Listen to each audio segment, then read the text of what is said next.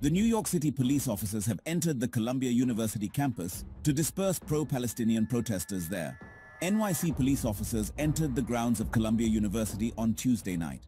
According to the witnesses, the police made several arrests and loaded the protesters onto buses. The authorities called in NYC police after protesters broke into an academic building called Hamilton Hall overnight.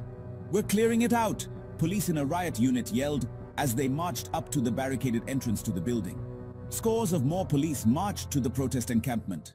The authorities called in NYC police after protesters broke into an academic building called Hamilton Hall overnight.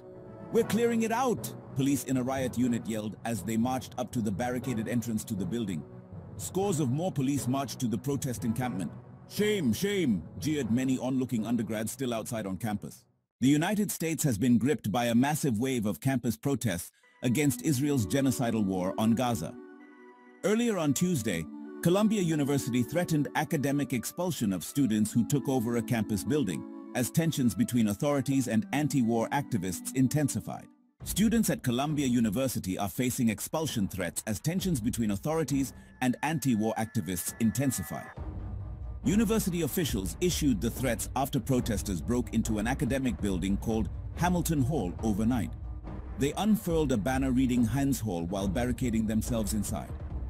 The move was a show of resentment over the killing of a six-year-old Palestinian child by the same name in the Gaza Strip. Mayor Eric Adams and city police officials told reporters the Hamilton Hall takeover was instigated by outside agitators who lack any affiliation with Columbia. Adams suggested some of the student protesters were not fully aware of external actors in their midst. We cannot and will not allow what should be a peaceful gathering to turn into a violent spectacle that serves no purpose. We cannot wait until this situation becomes even more serious. This must end now, the mayor said.